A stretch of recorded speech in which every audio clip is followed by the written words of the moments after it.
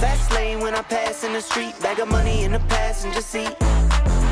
Simcoe's been asking for me on the road from the west to the east. Way up, I might never come down, cause the coast racking up the flight miles. So high, I might never come down, so what, this is my lifestyle. Willkommen zu einem neuen Video. Wir werden endlich unseren TTRS vollenden. Das Auto war ja schon beim Lackieren, das werde ich euch gleich zeigen. Auf jeden Fall möchte ich jetzt einfach mal den Unterschied selbst sehen und ich will ihn euch auch zeigen. Ich nehme ja die ganze Zeit auf mit einem iPhone 11 Pro. Mit einem iPhone 11 Pro. So, hier habe ich jetzt extra ein 15 Pro gekauft, nur damit die Videoqualität besser ist. Und ich hoffe, dass sie auch besser sein wird. Sonst bin ich sehr enttäuscht. Deswegen, wenn wir jetzt einmal switchen, das Video oder womit ich gerade spreche, das ist iPhone 11 Pro und wir switchen jetzt direkt zum 15 Pro und gucken uns den Unterschied mal direkt live an. Schreibt mal direkt runter, was für einen Unterschied ich jetzt habe. Ist das Video jetzt viel, viel besser? Wenn ja, dann behalte ich das. Wenn nicht, dann muss ich das irgendwie wieder loswerden. Vertrag kündigen oder sonstiges. Funktioniert das überhaupt? Nein? Kann ich einen Vertrag kündigen? Handyvertrag? Du bist am Arsch. Echt? Ah, scheiße, 50 Euro im Monat, ey. 55. Das tut weh. Naja, ich zeige euch jetzt, was wir hier lackiert haben, beziehungsweise was lackiert wurde. Wir haben einmal hier alles anlackiert, wo wir den Teilersatz gemacht haben und einmal diese Naht haben wir hier gelegt, beziehungsweise der Lackierer. Ne? Und ich muss sagen, die sieht schon sehr, sehr gut aus. Guckt euch die hier mal an und guckt euch die Seite hier an. Wie ordentlich das gemacht wurde. Dass du nicht direkt siehst, dass das Auto mal was hatte. Das, sowas hier kostet aber auch ein bisschen Zeit, ne? das immer so zu machen. Das kannst du auch schnell hinschmieren, sieht aber dann nicht so schön aus. So, dann haben wir einmal A-Säule anlackiert, weil wir hier Kratzer hatten, da die Motorhaube dagegen gedrückt hat. Und dann haben wir uns hier unten schon mit beschäftigt, weil uns hier oben noch Teile gefehlt haben für, für den Kotflügel, die Halterung unter anderem. Gib mir mal das Handy. Und zwar könnt ihr das hier sehen. Da haben wir einen Riss im Querträger. Dementsprechend haben wir uns überlegt, wir machen einfach alles neu. Wir machen den Dreieckslenker neu. Wir haben hier Spurstange, Spurstangenkopf. Hier haben wir noch, wie nennt sich die nochmal? Äh, Koppelstange, genau. Koppelstange haben wir noch neu. Das heißt, wir können da unten einmal alles rundum neu machen, damit das Auto gleich hoffentlich gerade steht und geradeaus fährt.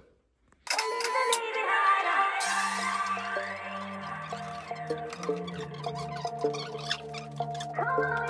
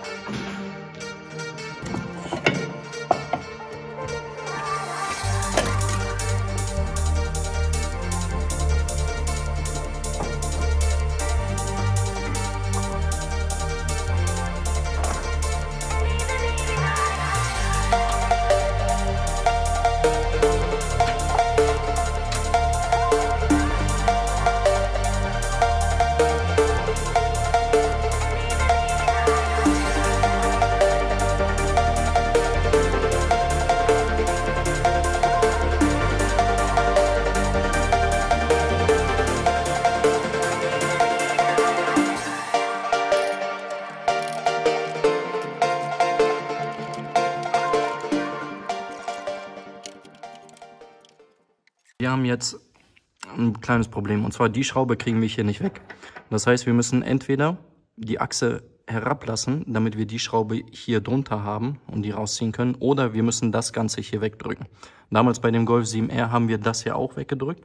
Da gibt es so eine kleine Stütze, die musst du lösen. Dann kannst du das versetzen. Und zwar diese hier. Die haben wir auch schon gelöst. Das heißt, wir können das ganze Aggregat einmal nach vorne schieben. In der Hoffnung, dass wir reichen. Das Problem ist, die Schraube ist extrem lang. Müssen wir überlegen. So eine Schraube sitzt da drin und die musst du rausbekommen. Ich weiß nicht, ob es reichen wird. Ich vermute nicht. Aber ich hätte gesagt, wir testen jetzt einfach mal.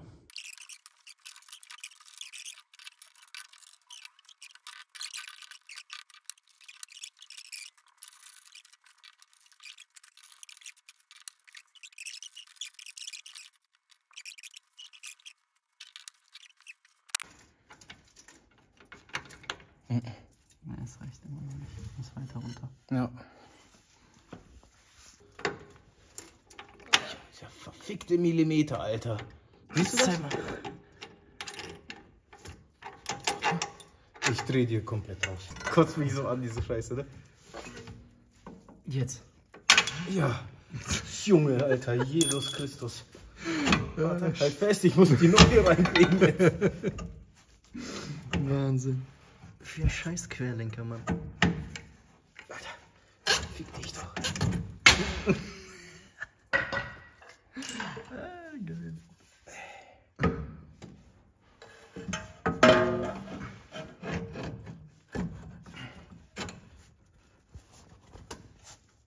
Jetzt sag, jetzt kriegen wir die da nicht rein. Jetzt.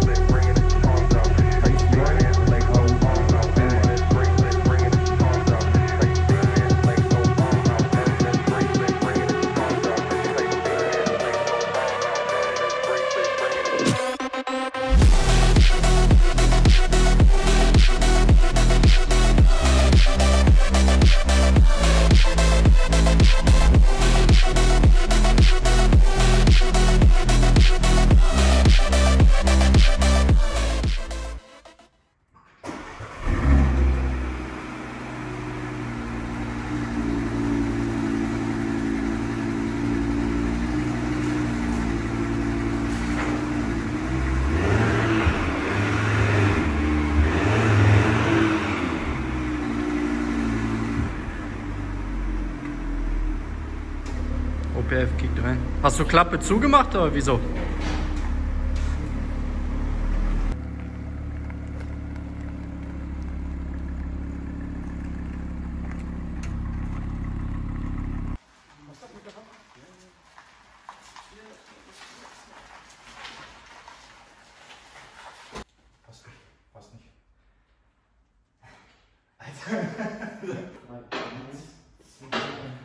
Diese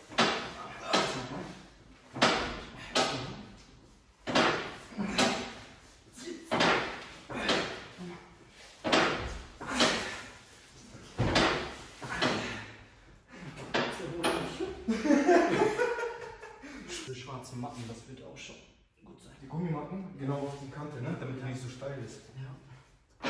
Eine? Ja. Okay. Eins, Zwei. zwei, Drei. nochmal. Hol zurück und jetzt wieder. So ein Bruder. Zack. Warte. Ob ihr es glaubt oder nicht, wir haben es einfach nicht geschafft, diesen Fettsack hier zu zweit auf die Bühne zu bekommen. Das Ding war unheimlich schwer. Naja, der TT ist auf jeden Fall fertig gebaut. So sieht das gute Stück jetzt auf, aus. Mit der Frontstoßstange kommt er wirklich oder wird zu einem RS, vor allem mit dem Fünfzylinder. Ne? Der ist aber so leise, Jungs. Also wirklich, soundtechnisch muss man OPF einfach rausschmeißen oder irgendwas anderes kaufen, weil es ist schon traurig. Du gibst 100 Scheine, Listenpreis für sowas aus und bekommst soundtechnisch sowas Müdes, sage ich mal, sowas, ja, keine Ahnung, fühle ich gar nicht. Aber muss jeder für sich entscheiden, ne? Direkt eigentlich Straight Pipe drunter hauen und dann hört er sich an wie der Graue da. Vernünftig, wie ein Fünfzylinder sich anhören sollte.